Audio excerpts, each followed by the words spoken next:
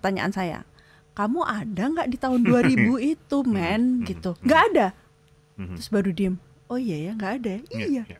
Terus kamu mempersalahkan, ngapain harusnya ya kamu lalah kok harusnya gitu. Harusnya kamu kan kayak aku. Loh, kamu ada nggak di situ? Iya. Nggak ada kan?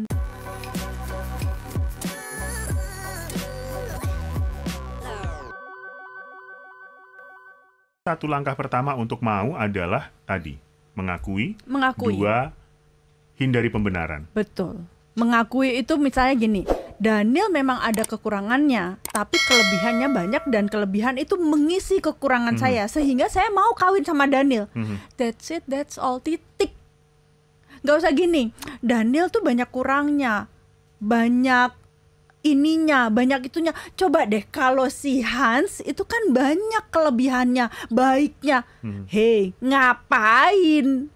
Terus aku tanya gitu, emang kamu mau kawin sama Hans? Mhm. Enggak. Kamu naksir Hans? Hmm. Enggak. Terus ngapain kamu minta Daniel dan membandingkan Daniel sama Hans? Oh, I see. Ya, ya, ya. ya. Ngerti nggak? Mhm. Ya udah, Danielnya aja yang kita Hmm. bahas, nggak usah dibanding-bandingin. Tuh saya tanya sama klien saya. Wongkong ini kok maaf. Lanjut. Oke. Maaf ya. Aduh, aduh. Enggak udah. Ah, Tadi tanya pada ayolah, kliennya pada Ayolah. kok dibanding-banding ke. Dah lanjut. Oke, next. Em, kan Lali. Kalau tanya pada klien Iya kan, saya. eh, eh, klien saya gitu. eh kalau kamu dibanding-bandingkan Mhm. atau nggak usah dibanding-bandingkan lah, Mhm. saya bilang gini, kok kamu melakukannya mindah handphone gitu sih? Kalau saya, kira-kira rasanya apa? Ya itu kalau kamu. Sedangkan, ya kan, nyolot langsung Mhm, dong mhm. ngegas. Ini kita kan real ya Iya, gitu. iya, Kalau iya. kita kesel ya kita Mhm. bilang aja kesel.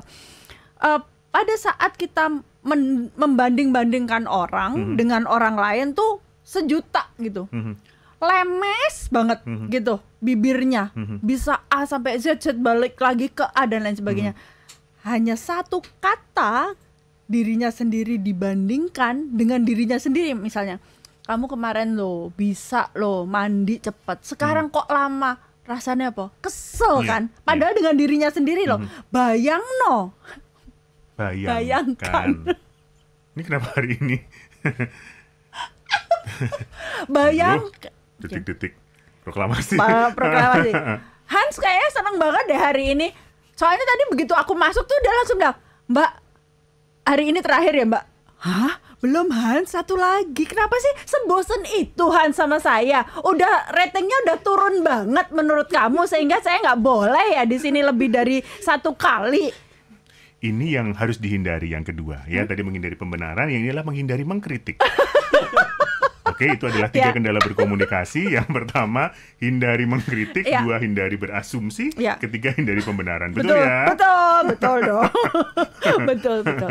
Jadi jangan membanding-bandingkan tadi. Iya, betul. Karena membanding-bandingkan itu rasanya nggak enak. Bahkan Hmm. kalau kita mau melangkah terus membandingkan juga, misalnya gini, eh, kita sudah sukses nih atau let's say kema- yang kemarin nih gagal. Mhm. Terus kita mau melangkah maju melakukan hal yang sama dengan cara yang berbeda. Mhm. Kebayang nggak sih gimana takutnya atau gimana Iya, stresnya iya, kalau iya, kita langkah kita itu dibandingkan terus gitu. Padahal yang perlu dilakukan adalah pada saat kita hidup di yang sekarang ya sudah hidup po di yang sekarang, hiduplah di yang sekarang. Karena yang kemarin ya sudah di kemarin.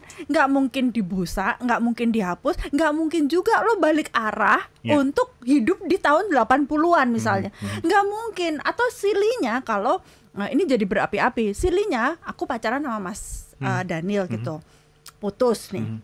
Aku pacaran sama Hans Mhm. di tahun sekarang. Mas Mhm. Daniel di tahun 2000 deh. Mhm. Sekarang 2023 kan Mhm. Hans. Ketemu Hans, jatuh cinta sama Hans. Terus Hans mencemburui apa yang saya lakukan dengan Mas Daniel di tahun 2000. Iya, iya. Silly kan? Ngapain? Dan ini membuat kamu tidak bisa maju melangkah untuk menjalin hubungan yang baru. Oke. Atau ya saya soalnya kesel banget dia kok sama dia tuh di waktu itu. Pertanyaan saya, kamu ada nggak di tahun 2000 itu, men? Hmm, Gitu. hmm, Nggak ada. Terus baru diem. Oh iya ya, nggak ada. Iya, Iya. iya. Terus kamu mempersalahkan, ngapain harusnya ya kamu harusnya gitu. Harusnya kamu.